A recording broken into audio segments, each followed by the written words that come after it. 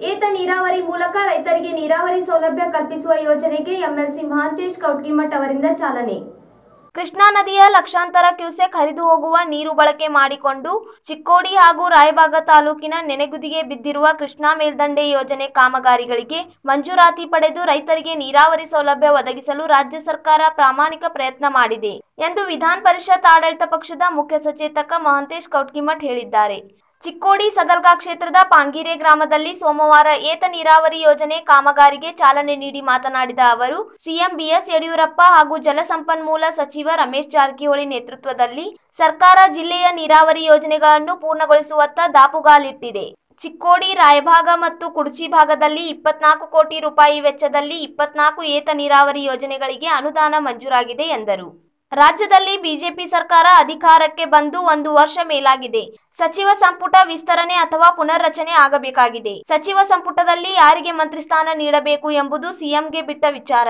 ಹಿರಿಯ ಶಾಸಕ ಉಮೇಶ್ ಕತ್ತಿ ಸಚಿವರಾಗಬೇಕಾಗಿದೆ. ನಾನು ಸಚಿವ ಸ್ಥಾನದ ಆಕಾಂಕ್ಷಿಯಲ್ಲ ಎಂದರು. ಪ್ರಸಕ್ತ ಸಾಲಿನಲ್ಲಿ ಚಿಕ್ಕೋಡಿ, ರಾಯಭಾಗ ಮತ್ತು ಕುಡ್ಚಿ ಪ್ರದೇಶಗಳಲ್ಲಿ ಇಪ್ಪತ್ನಾಲ್ಕು ಕೋಟಿ ರೂಪಾಯಿ ಅನುದಾನದಲ್ಲಿ ಸುಮಾರು ಒಂದು ಸಾವಿರದ ನಾಲ್ಕುನೂರು ಎಕರೆ ಕ್ಷೇತ್ರಕ್ಕೆ ನೀರಾವರಿ ವ್ಯವಸ್ಥೆ ಕಲ್ಪಿಸಲಾಗಿದೆ ಎಂದು ವಿಧಾನ ಪರಿಷತ್ ಆಡಳಿತ ಪಕ್ಷದ ಮುಖ್ಯ ಸಚೇತಕ ಮಹಾಂತೇಶ್ ಕೌಟ್ಗಿಮಠ್ ಹೇಳಿದರು. ತಾಲೂಕಿನ ಕುರ್ಲಿ ಗ್ರಾಮದ ರೈತರ ಜಮೀನುಗಳಿಗೆ ಏತ ನೀರಾವರಿ ಮೂಲಕ ನೀರಾವರಿ ಸೌಲಭ್ಯ ಕಲ್ಪಿಸುವ ನಲವತ್ತೊಂಬತ್ತು ಪಾಯಿಂಟ್ ಇಪ್ಪತ್ತಾರು ಲಕ್ಷ ರೂಪಾಯಿ ವೆಚ್ಚದ ಕಾಮಗಾರಿಗೆ ಸೋಮವಾರ ಚಾಲನೆ ನೀಡಿ ಅವರು ಮಾತನಾಡಿದರು. ವೆಚ್ಚದಲ್ಲಿ ನೀರಾವರಿ, ಯಾತ ನೀರಾವರಿ ಯೋಜನೆಯನ್ನು ಮಂಜೂರು ಮಾಡಲಾಗಿದೆ. ಈ ಯೋಜನೆಯಿಂದ ಸುಮಾರು ಇಪ್ಪತ್ತೆಂಟು ಎಕರೆ ನೀರಾವರಿ ಕ್ಷೇತ್ರಕ್ಕೆ ಒಳಪಡಲಿದ್ದು, ಈ ವಿಶೇಷ ಕಾರ್ಯಕ್ರಮ ಇಲ್ಲಿ ನಮ್ಮ ಹಿರಿಯರು ಈ ಭಾಗದ ಹಿರಿಯರು ಆಗಿರ್ತಕ್ಕಂಥ ಸುಭಾಷ್ ಕಾನಡೆ ಮತ್ತು ಸುಮಾರು ಒಂಬತ್ತು ಜನ ರೈತರು ಅವರೆಲ್ಲರಿಗೂ ಸಹಿತ ಇದರಿಂದ ಲಾಭವಾಗಲಿದೆ. ಇವತ್ತು ಬೆಳಗ್ಗೆ ನಿಪ್ಪಾಣಿ ವಿಧಾನಸಭಾ ಕ್ಷೇತ್ರದ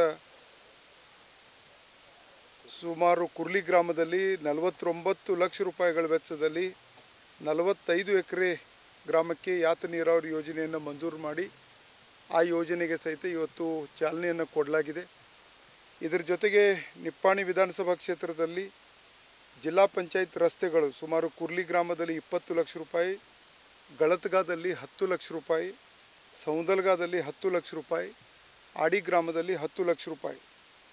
ಇದರ ಜೊತೆಗೆ ಲೋಕೋಪಯೋಗಿ ಇಲಾಖೆಯಿಂದ ಪರಿಶಿಷ್ಟ ಜಾತಿ ಮತ್ತು ಪರಿಶಿಷ್ಟ ಪಂಗಡದ ರಸ್ತೆ ಕಾಮಗಾರಿಗಳಿಗೆ ಪಡ್ಲಿಯಾಳ್ ಗ್ರಾಮದಲ್ಲಿ ಒಂಬತ್ತು ಪಾಯಿಂಟ್ ಐವತ್ತು ಲಕ್ಷ ರೂಪಾಯಿ, ನಾಗನೂರು ಗ್ರಾಮದಲ್ಲಿ ಸುಮಾರು ಇಪ್ಪತ್ತೊಂದು ಲಕ್ಷ ರೂಪಾಯಿ ಜತ್ರಾಟ್ ಗ್ರಾಮದಲ್ಲಿ ಸುಮಾರು ಹದಿನಾಲ್ಕು ಲಕ್ಷ ರೂಪಾಯಿ, ಅಕ್ಕೋಳ್ ಗ್ರಾಮದಲ್ಲಿ ಸುಮಾರು ಹತ್ತು ಲಕ್ಷ ಎಂಬತ್ತು ಸಾವಿರ ರೂಪಾಯಿ ಮತ್ತು ಶೇಂಡೂರದಲ್ಲಿ ಹದಿನಾಲ್ಕು ಪಾಯಿಂಟ್ ಎಪ್ಪತ್ತು ಲಕ್ಷ ರೂಪಾಯಿಗಳು.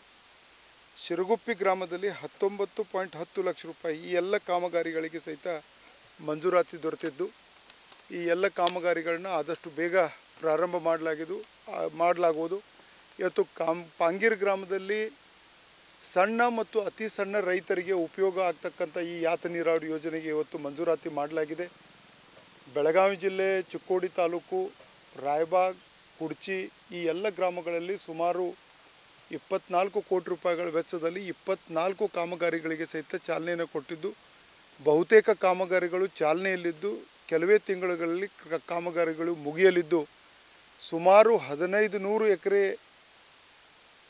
ಈ ಒಂದು ನೀರಾವರಿ ಕ್ಷೇತ್ರಕ್ಕೆ ಒಳಪಡಲಿದ್ದು ಇದನ್ನು ಈ ಭಾಗದ ರೈತರಿಗೆ ಉಪಯೋಗ ಆಗಲಿ ಅಂತೇಳಿ ಸಂದರ್ಭದಲ್ಲಿ ಹೇಳ್ತಾ, ಈ ಕಾಮಗಾರಿಗಳನ್ನ ಅತ್ಯಂತ ಕಡಿಮೆ ಅವಧಿಯಲ್ಲಿ, ಕಾಲಮಿತಿಯಲ್ಲಿ ಅವರು ಮುಗಿಸ್ಬೇಕು ಮತ್ತು ರೈತರಿಗೆ ಅನುಕೂಲ ಆಗಬೇಕು ಅಂತಕ್ಕಂಥ ಮಾತನ್ನು ಸಹಿತ ಈ ಸಂದರ್ಭದಲ್ಲಿ ಹೇಳ್ತಾ, ಪಾಂಗೀರ್ ಗ್ರಾಮ ಇದೊಂದು ಕೃಷಿ ಪ್ರಧಾನವಾಗಿರ್ತಕ್ಕಂಥ ಅತ್ಯಂತ ಸಣ್ಣ ಗ್ರಾಮ.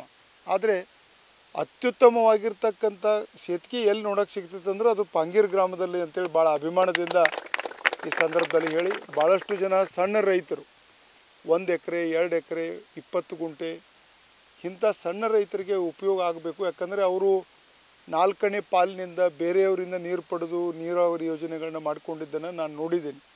ಅಂಥ ಬಡ ರೈತರು ಬ್ಯಾಂಕಿನ ಕಡೆ ಮುಖ ಮಾಡಿದಾಗ ಅಂಥ ರೈತರಿಗೆ ಯಾವ ಬ್ಯಾಂಕುಗಳು ಸಹಿತ ಸಾಲವನ್ನು ಕೊಡೋದಿಲ್ಲ. ಅದಕ್ಕಾಗಿ ಸರ್ಕಾರ ಇಂಥ ಸಣ್ಣ ಮತ್ತು ಅತಿ ಸಣ್ಣ ರೈತರಿಗಾಗಿಯೇ ಈ ಯೋಜನೆಗಳನ್ನು ರೂಪಿಸಲಾಗಿದ್ದು ಈ ಯೋಜನೆಯಿಂದ ಸಾಕಷ್ಟು ಬಡ ರೈತರಿಗೆ ಉಪಯೋಗ ಆಗಲಿದೆ. ಬರ್ತಕ್ಕಂಥ ದಿನಮಾನಗಳಲ್ಲಿ ಇನ್ನೂ ಹೆಚ್ಚಿನ ರೀತಿಯಿಂದ ಈ ಥರದ ಯೋಜನೆಗಳಿಗೆ ಮಂಜೂರಾತಿ ಮಾಡಿ ಈ ಭಾಗದ ರೈತರಿಗೆ ಉಪಯೋಗವನ್ನು ಮಾಡಿಕೊಡಲಾಗುವುದು. ಈ ವರ್ಷ ಇನ್ನೂ ಹೆಚ್ಚು ಪ್ಯಾಂಡಮಿಕ್ ಈಗೇನು ಕರೋನಾ ಇದೆ. ಇದು ಕಡಿಮೆಯಾಗಿ ರಾಜ್ಯದ ಆರ್ಥಿಕ ಸ್ಥಿತಿಗತಿ ಉತ್ತಮವಾದ ನಂತರ ರಾಜ್ಯದ ಮುಖ್ಯಮಂತ್ರಿಗಳಾದ ಸನ್ಮಾನ್ಯ ಬಿ ಎಸ್ ಯಡಿಯೂರಪ್ಪನವ್ರ ನೇತೃತ್ವದಲ್ಲಿ ಮತ್ತು ನೀರಾವರಿ ಸಚಿವರು ನಮ್ಮ ನಾಯಕರಾದ ಸನ್ಮಾನ್ಯ ರಮೇಶ್ ಜಾರಕಿಹೊಳಿ ಅವರ ನೇತೃತ್ವದಲ್ಲಿ ಇಲ್ಲಿ ನೆನೆಗುದಿಗೆ ಬಿದ್ದಿರತಕ್ಕಂಥ ಕೃಷ್ಣಾ ಮೇಲ್ದಂಡೆ ಯೋಜನೆಯ ನೀರಾವರಿ ಯೋಜನೆಗಳಿಗೆ ಸಹಿತ ಆದಷ್ಟು ಬೇಗ ಉಳಿದಂಥ ಕಾಮಗಾರಿಗಳಿಗೆ ಸಹಿತ ಮಂಜೂರಾತಿಯನ್ನು ಪಡೆದು ಕೃಷ್ಣಾ ನದಿಯಿಂದ ಲಕ್ಷಾಂತರ ಕ್ಯೂಸೆಕ್ಸ್ ಹರಿದು ಹೋಗ್ತಕ್ಕಂಥ ನೀರನ್ನು ಬಳಕೆ ಮಾಡಿ ಯಾವ ಕಾಮಗಾರಿಗಳು ಇವತ್ತು ಯಾವ ಭಾಗ ನೀರಾವರಿಯಿಂದ ವಂಚಿತ ಆಗಿದೆ ಅದು ಚಿಕ್ಕೋಡಿ ತಾಲೂಕು ಇರ್ಬೋದು ರಾಯಬಾಗ್ ತಾಲೂಕು ಇರ್ಬೋದು, ಆ ಎಲ್ಲ ಯೋಜನೆಗಳಿಗೆ ಸನ್ಮಾನ್ಯ ರಮೇಶ್ ಜಾರಕಿಹೊಳಿ ಅವರ ನೇತೃತ್ವದಲ್ಲಿ ಆದಷ್ಟು ಬೇಗ ಮಂಜೂರಾತಿಯನ್ನು ಪಡೆದು ಆ ಕಾಮಗಾರಿಗಳಿಗೆ ಚಾಲನೆಯನ್ನು ಕೊ ರಾಜ್ಯದಲ್ಲಿ ಯಡಿಯೂರಪ್ಪನವ್ರ ಸರ್ಕಾರ ಅಧಿಕಾರಕ್ಕೆ ಬಂದು ಸುಮಾರು ಒಂದು ವರ್ಷ, ಎರಡು ತಿಂಗಳಾಗಿ ಹೋಯ್ತು ಇವತ್ತು. ಸಂಪುಟ ಪುಟ, ಪುನರ್ರಚನೆ ಅಥವಾ ಸಂಪುಟ ವಿಸ್ತರಣೆ ಆಗಬೇಕಾಗಿದೆ. ಇದು ಸಂಪೂರ್ಣವಾಗಿ ಮುಖ್ಯಮಂತ್ರಿಗಳ ವಿವೇಚನೆಗೆ ಬಿಟ್ಟಿರ್ತಕ್ಕಂಥ ಕೆಲಸ.